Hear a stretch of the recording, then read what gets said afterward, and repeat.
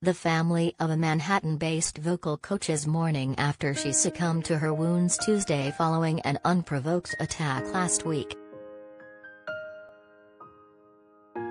Barbara Maier Gustern, an 87-year-old resident of Chelsea, was pushed from behind in her neighborhood last Thursday night, causing her to hit her head, the New York Times reported.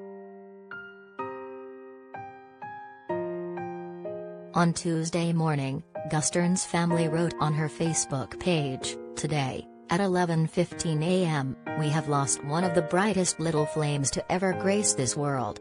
I ask that you all give me a little time and space, but I want to make time for anyone and everyone who wants to know more about her final moments. The Daily News reported that Gustern's grandson AJ authored the post.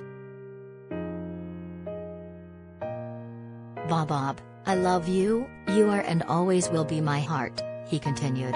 I love you all so much, I could not have made it through these past five days without all of your support. New York Police Department's Chief of Detectives James Essig said in a press conference held Tuesday, a short time ago today, Gustern, died from her injuries.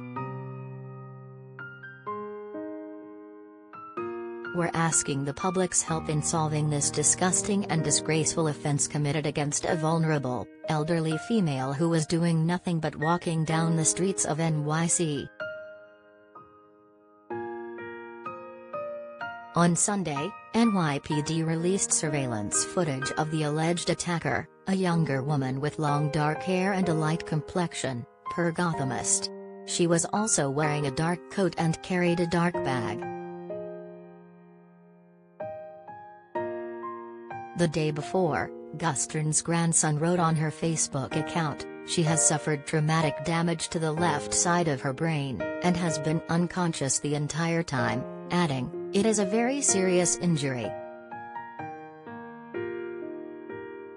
He later wrote, I struggle to understand and cope with this world on a daily basis, and frankly this is beyond my ability to bear. The Times also reported that Gustern was a noted member of the artistic community in New York, having worked with Broadway professionals and beyond. According to Playbill, Gustern worked on the 2019 Broadway revival of Oklahoma. That featured Tony Award winner Ali Stroker as well as on the 2008 musical Passing Strange. Unprovoked attacks have reportedly increased in frequency in the NYC area, with reports of violent assaults in the subway and fast food restaurants.